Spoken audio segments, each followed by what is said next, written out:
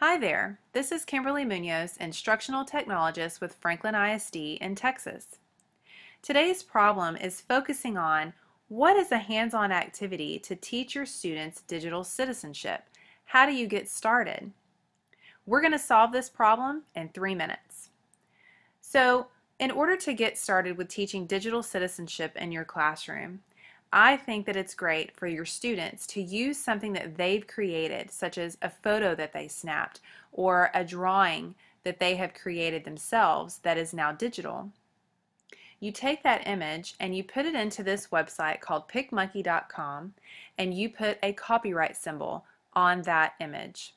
This is a great way to introduce your students to digital citizenship and copyright laws and it opens up a great discussion. So let's take a look at PicMonkey.com. This website can be used for so many different things, and depending on the time of year that you visit PicMonkey.com, you'll see different pictures showing here at the bottom. In order to get started, you want to basically hover your mouse over each section so that you can see what each one does. This is the edit section that we'll be using today, but they also have a touch-up, a design section, and a collage section. It can be used for so many different things in your classroom and also for personal use. So let's go ahead and get started with editing. So basically when I click on edit it's going to take me out to my computer in order to find the picture that I want to edit. Or I could simply click and drag it over to the screen. So this is a picture that I personally took myself and I want to be able to copyright this picture so that when I put it on the internet other people will know who the copyright belongs to. Again, this opens up a great discussion with your class.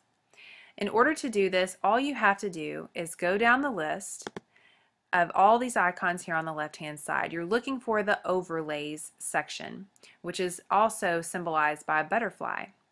Whenever you get to this section, you're going to scroll through some of the area and see all the different things that they offer, but there's a symbols box that you're going to click on. And there's the copyright symbol that we want. So we're going to click and drag it over to our picture. Notice that it's pretty large, so we're going to just shrink it down by clicking that little handle. And we can also change the color of that copyright symbol in order for it to stand out more. Now the next thing we want to do is we want to add our name next to that copyright symbol. So we're going to click text, which is the T, and once the uh, text box comes up, we're simply going to click Add Text. We're going to click inside the text box and we're going to type our name.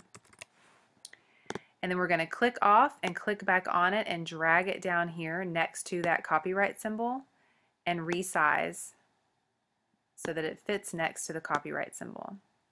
Now again we can also change the color just by simply clicking around or we can take um, our little eyedropper there, click inside this box, and then we can go down to the copyright symbol and match that exact color that we had the copyright symbol placed in.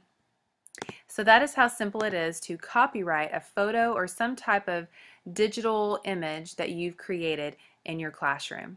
Now all you do is teach the students to save it and have a great discussion about what copyrighting an image can do and how it shows digital citizenship.